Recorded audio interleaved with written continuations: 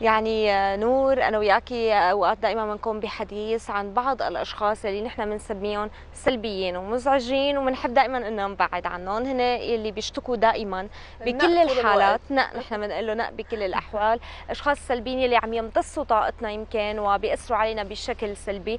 مثل ما بنقول دائما إنه أكيد الظروف ما سهلة على حدا لكن في بعض الأشخاص آه، بياخذوا الطاقة الحلوة الطاقة الإيجابية أي شيء وأي نقطة بيضاء بيحاولوا إنه يستفيدوا منها ويكملوا نهارهم على اساسها العكس مع الأشخاص السلبيين يلي بيحاولوا دائما آه، يلاقوا العقبات ويدوروا حتى على العقبات وهيك يمكن بيأثروا علينا. رح نحكي أكثر بهذا الموضوع وكيف بنقدر نتفادى الاختلاط بهدول الأشخاص أو حتى نبتعد عن طاقتهم السلبية مع ديما آه، مع ديما سليمان. اختصاص موارد بشرية. يسعد صباحك. صباح النور يسعد صباحكم جميعا. صباح الطاقة الإيجابية. صباح الطاقة الإيجابية دائما. صباح الحب والطاقة الإيجابية. بالبداية قبل ما نحكي عن الأشخاص السلبيين خلينا نعرف الشخص السلبي. هل هو شخص سيء ولا هو طبع؟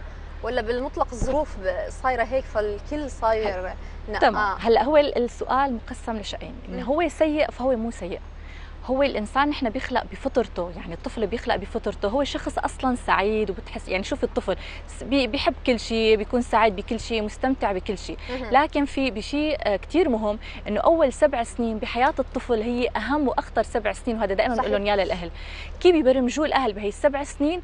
هو حيكون مستقبله. لهيك إذا كان هو حدا سعيد ومستمتع بس الأهل ببلشوا مثلا موضوع المشاكل موضوع النق من كل شيء الخناقات العائلية. فهو أصلا مثل ما انه ما بيعرف شيء عن الحياة. بس نظرته للحياة أخذها من وين؟ من أهله. مم. كيف الأهل عم بيقولوا له هو أخذها. فهو تبرمج بأول سبع سنين. لهيك هو مانو سيء. بس هو تبرمج من أهله وأهله تبرمجوا من اللي قبله. صار أسلوب حياة. صار أسلوب حياته. ايمتى بتكمن مسؤوليته لما بيكبر وبيوعى وبيعرف إنه هو قادر يغير هذا الشيء فهو هون بتكون مسؤوليته. ممكن هو قبل ما يعرف بناء للطبيعة بيحكي كل شيء سلبي للطبيعة بس أنت عرفت إنه أنت قادر تغير فهون صارت مسؤوليتك.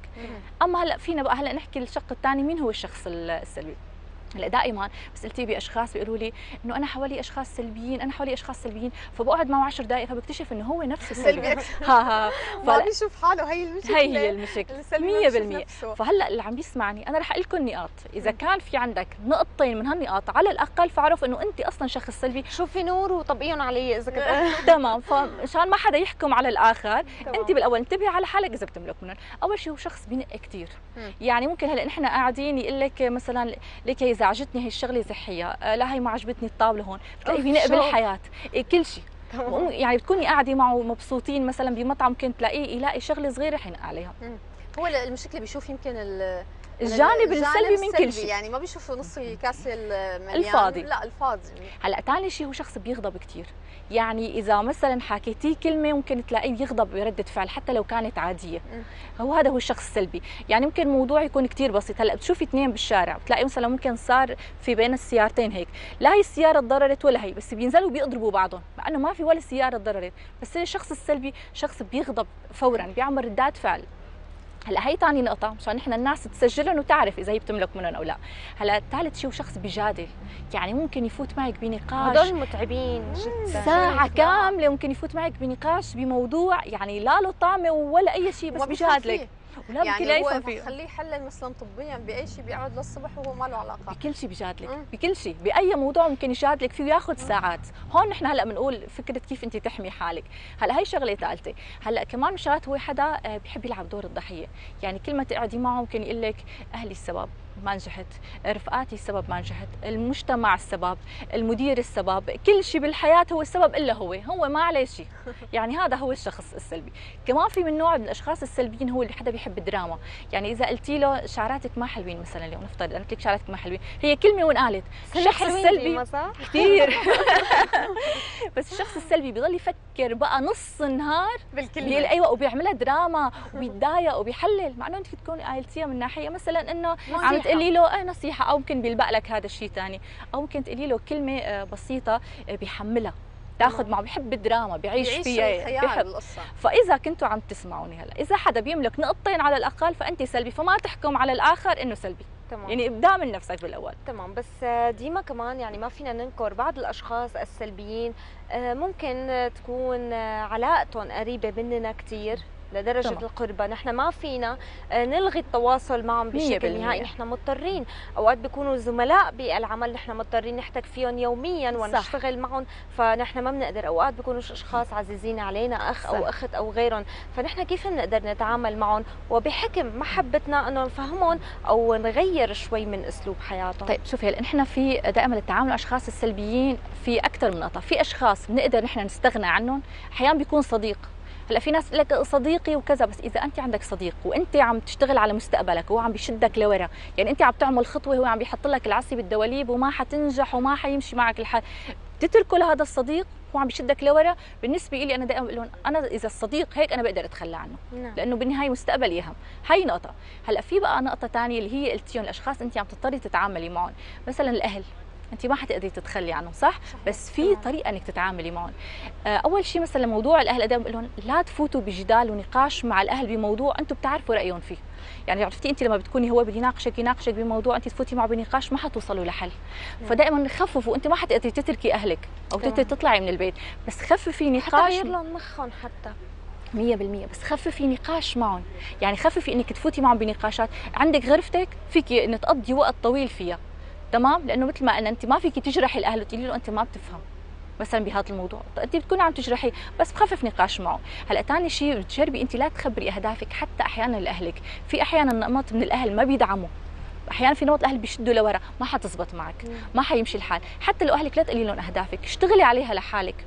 هلأ من الشغلات كمان اللي كثير مهمة مع الأهل بتعرفوا أحيانا بتكوني ببيت في جو مشاكل. جربي ما تدخلي بهي المشاكل. يعني كأن كثير بيسألوني آه، في خلافات في كذا لا تدخلي فيها. طب؟ أهلي طب أهلي طب أهلك بس انت حتفوتي فيها. ما حتعملي غير شيء إنك تتأثري. حتصير طاقتك سلبية. طب شو استفدتي؟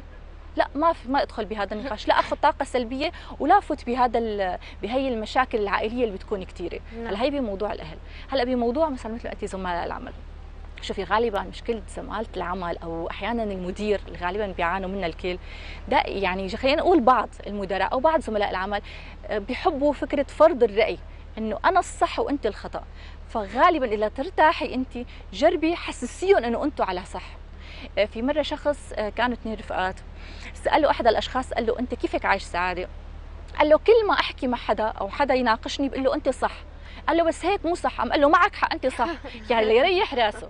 فزملاء العمل والمدير لتريحي راسك منهم لما بدهم يحسسوك إنه أنا بفهم جربي حسسيه إنه معك حق إنه أنت صح. على العكس بيحبك بصير إنه أنت هو حدا بده يغذي الإيجو عنده إنه أنا صح وأنا بفهم أكثر منك فحسسيه انه معك حق. صح؟ حيصير يحبك بالعكس. وترتاحي بال- بالناحية الثانية شو؟ من النق تبعه.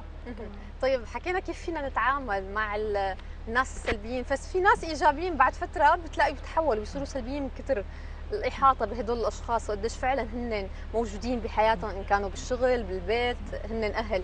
كيف فيني أنا أحمي طاقتي الإيجابية نوعا ما؟ يعني أحيانا في تصرفات فعلا لازم نكون فيها.